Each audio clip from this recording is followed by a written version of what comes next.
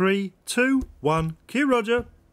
Hello, good evening, and welcome to this, the first episode of, of my brand new Channel 4 television show. No, cut. It's a blap, Roger. Well, they don't call me one take Mellie for nothing. Last one of the bars are queer.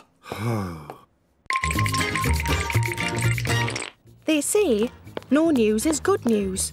Well, my husband went on a two week camping holiday in Zambia in 1952 and hasn't been seen since.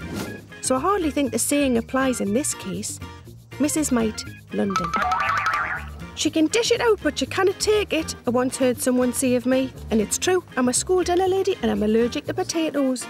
Mrs. Pinches, Hereford. My teachers told me I would never make anything of myself if I sat staring into space during lessons. However, I now have the last laugh, as I am Professor Brian Cox from Off the Space documentaries on TV.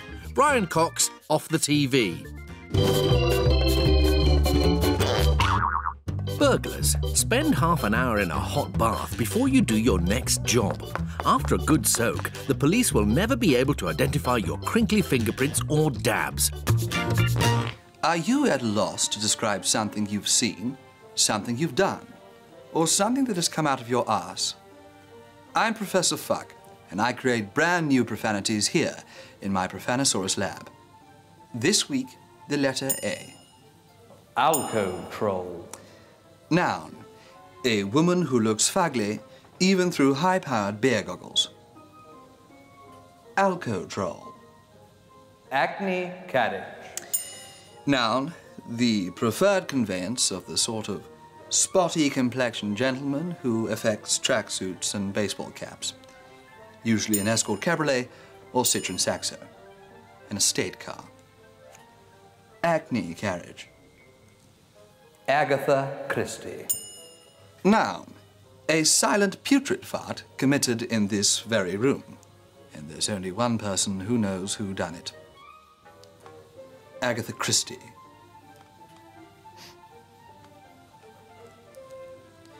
Thank you very much for watching. I've been Professor Fuck, and until we meet again, see you next Tuesday. A blap? What the fuck's a blap, Tom? Well, it's a sort of uh, online taster, Roger. You know, uh, it's a way for Channel 4 to gauge public reaction and uh, help them to decide whether it's worthwhile to commission a full series.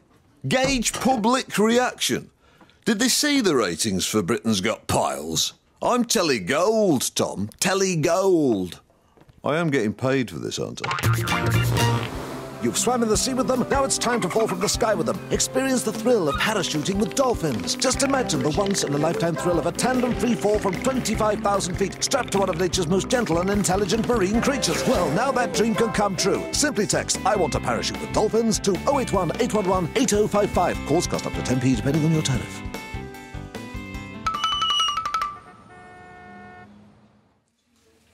Oh, uh, hi, Roger. Hi, Tom. Uh, welcome back. How was India? Absolutely shocking, So I've never seen anything like it. The sweatshops. I, I must have seen dozens of them. Christ. Little kiddies, Tom, working 18 hours a day for a bowl of rice. Slave labour, Tom, that's what it is. No other words for it. Sounds awful, Roger. Hmm. No health and safety, no sick pay. No holidays, nout. Don't even get a break for lunch, Tom. Can you believe it? That's how they make stuff so cheap, I suppose. Oh, dear, oh, dear. Uh, When does it go out, Roger? When, when does what go out? The documentary. What, what documentary is that? Your documentary, Roger. Your expose of the sweatshops in India. God, no, I wasn't making a film, Tom. No, that subject's been done to fucking death. Eh? No, no, I was out there getting a few quotes from a new range of leisure wear. What do you reckon to these? Uh, ta-da! Place in Bangalore can do for five pence a unit, Tom. Five pence! And I can knock the fuckers out for the thick end of 30 quid. It's a fish crap joke.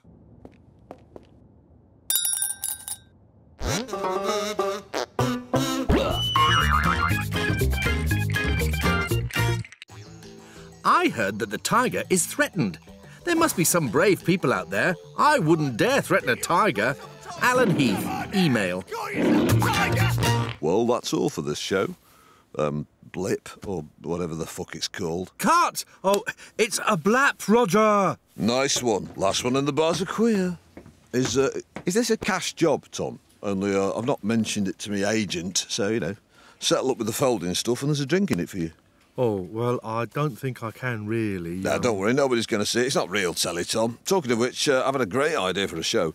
Star in a reasonably priced whore. Title's a bit contrived, but uh, stick it up against them bird doing roulette and it'll be a ratings winner. A load of celebrities, right, banging a £25 brass, and the one who lasts the longest gets 500 quid for a kiddies charity. You haven't got uh, John McCririck's phone number, have you, by any chance?